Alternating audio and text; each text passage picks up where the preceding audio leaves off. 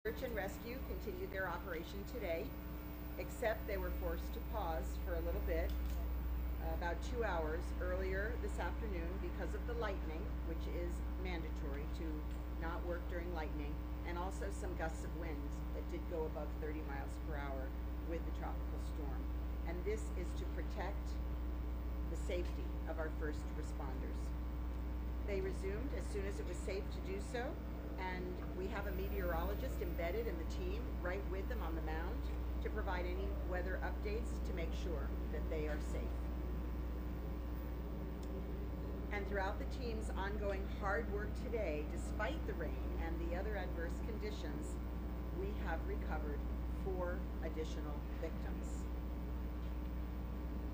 The number of confirmed deaths is now 36, with 29 of those identified.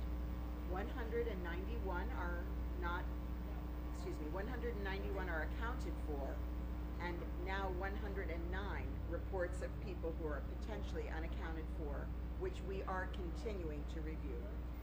As I said earlier, this list includes many reports that were received with partial or incomplete information, sometimes only a name, sometimes no uh, other identifying information, and not even a return phone number for us to follow up with the, with the person who was reporting.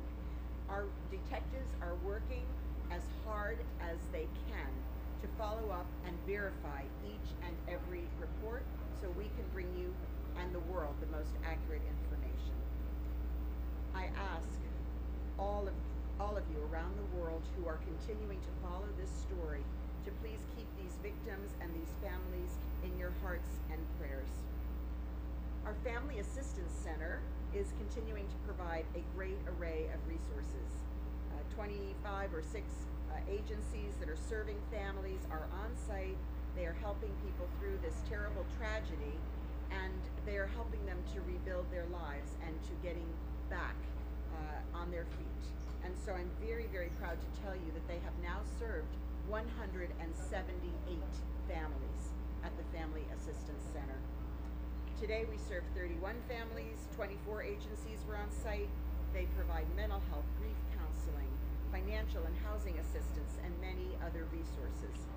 FEMA is one of those on site and it's providing direct individual assistance, rental assistance for surviving families who want to stay in this area, and especially for those who have children in area schools and we've been assured by the superintendent that they'll be able to continue to attend the schools even if they move out of the immediate area.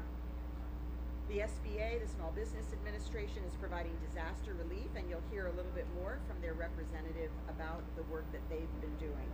And we're also working with the state to streamline the process of submitting insurance claims, very important. And through the extraordinary generosity of people all across the country and world, we've received tremendous amount of funding to help these families.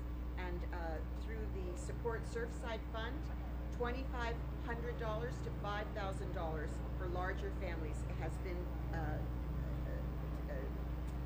distributed for immediate assistance and unmet needs.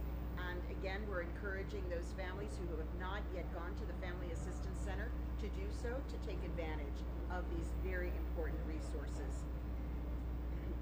Also, I want to say that our Miami-Dade County government departments have been on the scene. They've stepped up in this in this unique moment and they've gone above and beyond. So of course we know the men and women of our first class fire rescue team, truly the best in the world. They ran into the rubble of the collapsed building and they haven't stopped since, pulling people out. And of course our police department, who's stood by their side, hand in glove, getting this job done. Our Community Action and Human Services Department is running the Family Assistance Center with enormous care and compassion. And we also have our Water and Sewer Department, our Transportation and Public Works Department, our libraries are coming on board and even our elections department is helping out uh, in this effort. They've been uh, driving shuttle buses to assist the Red Cross and the survivors to go uh, to the various places they need to go. And they're helping people to redo their voter registration if they've lost their voter registration cards. So I want to stress again how, how very grateful we are for all of this help from the state and from the federal government, from FEMA, who's been on site with us here from the very beginning of this disaster. And I want to borrow a phrase from Gracia Szczech, who is the regional administrator for FEMA Region 4, who has been embedded in our incident command.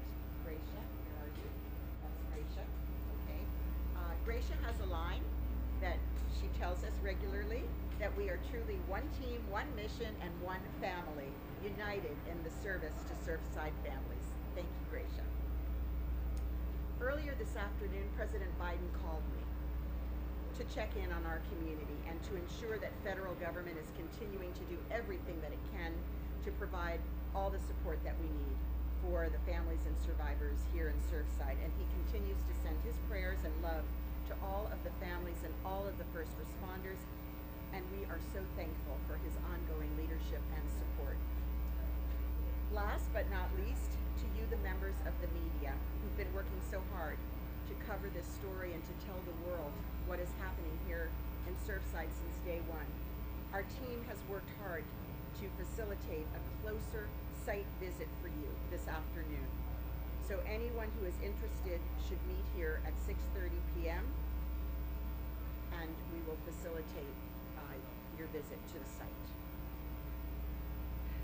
God bless the families and our first responders. Buenas tardes, aquí estamos en la noche del día 13. La búsqueda y rescate continuaron su operación durante todo el día, excepto cuando se vieron obligados a detenerse un poco más de dos horas antes esta tarde por rayos y ráfagas de viento de más de 30 miles por hora para proteger la seguridad de nuestros primeros socorristas. Comenzaron de nuevo cuando eh, fue seguro.